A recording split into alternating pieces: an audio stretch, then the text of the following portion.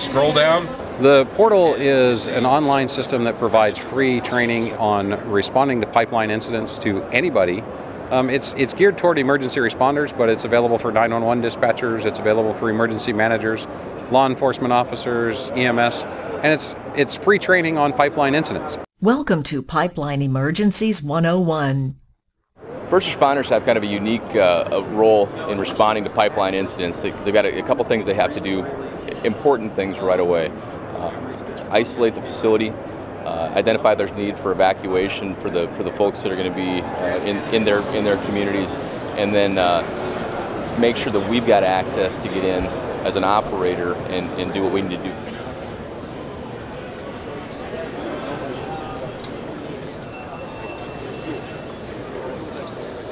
That's one of the reasons that we wanted to do it is make sure that it got out there so that it was something that so we could keep firefighters, responders, and the public safe.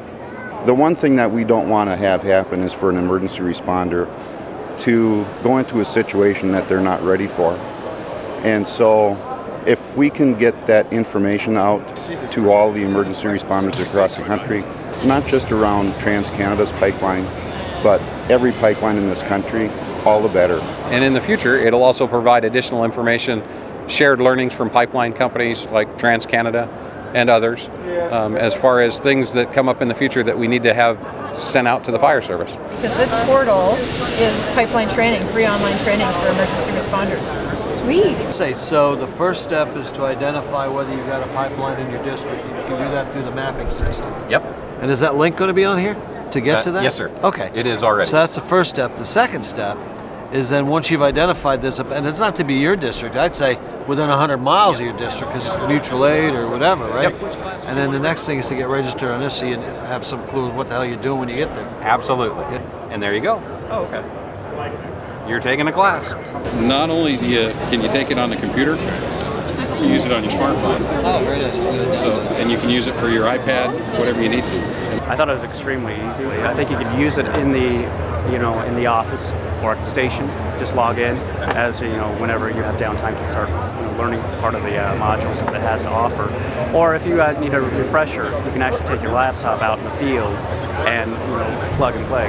Hard apart. This is absolutely free of charge free to everybody. It's kind of a no-brainer. It's a piece of cake. Uh, and again, I mean, it's really two simple steps. One, identify whether you have pipelines in your district or your community or even near your area. And then the second is get online and start learning what to do if, if you have an emergency in one of these sites. It's you know designed by adult learners for adult learners. So we, and this needs to be on everybody's uh, uh, uh iPads or portable phones or smartphones or whatever.